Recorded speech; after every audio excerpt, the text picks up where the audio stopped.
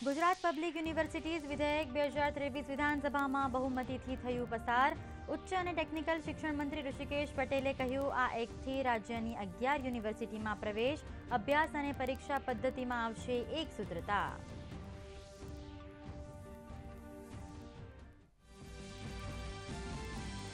Gujarat private universities bill બે હજાર ત્રેવીસ વિધાનસભા ગૃહમાંથી થયું પસાર. બે વર્ષની અંદર national assessment and accreditation council તરફથી માન્યતા મેળવી લેવા અંગેના સુધારાને અપાયું સમર્થન.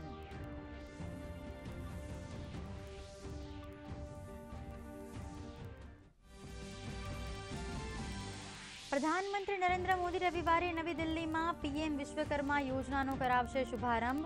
દેશભરના ગ્રામીણ અને શહેરી વિસ્તારના કારીગરો તથા શિલ્પકારોને આર્થિક સહયોગ આપવાનો આ યોજનાનો છે ઉદ્દેશ.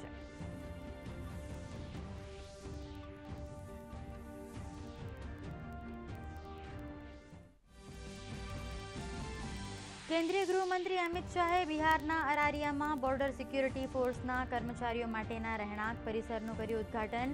ઝંઝારપુરમાં જનસભાને કર્યું સંબોધન. કહ્યું, બે હજાર ચોવીસમાં બિહારની તમામ ચાલીસ બેઠક પર એનડીએની થશે જીત.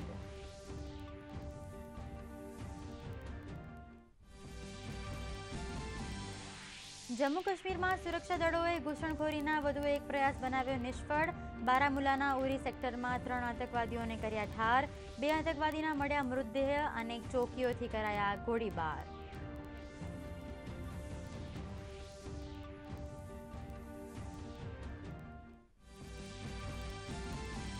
કેન્દ્રીય આરોગ્ય મંત્રી મનસુખ માંડવિયાએ કહ્યું, બે હજાર ચોવીસના અંત સુધીમાં દેશની તમામ હોસ્પિટલમાં ઉપલબ્ધ કરાશે અંગ પ્રત્યારોપણની સુવિધા. આયુષ્માન ભવ અભિયાન અંતર્ગત આગ્રામાં અંગદાન પ્રતિજ્ઞા અને નોંધણી મહાશિબિરનો શુભારંભ.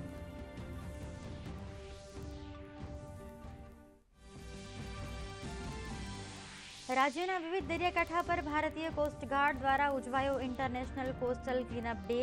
દરિયાઈ પર્યાવરણ પર કચરાથી થતી હાનિકારક અસરો અને દરિયાઈ વનસ્પતિ તેમજ પ્રાણીસૃષ્ટિ માટે સ્વચ્છ સમુદ્રના મહત્વ અંગે લોકોમાં જાગૃતિ લાવવા દર વર્ષે સપ્ટેમ્બરના ત્રીજા શનિવારે કરાય છે આ દિવસની ઉજવણી. રાજ્યમાં આજે પણ રહ્યો વરસાદી માહોલ. મહીસાગરના સંતરામપુરમાં ત્રણ ઇંચ વરસાદ, પંચમહાલ, અરવલ્લી, અંબાજીમાં સવારથી જ મેઘમહેર. આગામી ચાર દિવસ ભારે વરસાદની આગાહી કરતું રાજ્યનું હવામાન વિભાગ.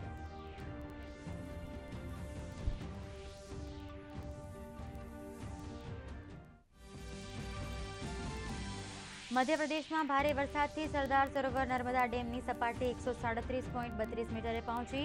મુખ્યમંત્રી ભૂપેન્દ્ર પટેલ આવતીકાલે નર્મદાના નીરના કરશે વધામણા.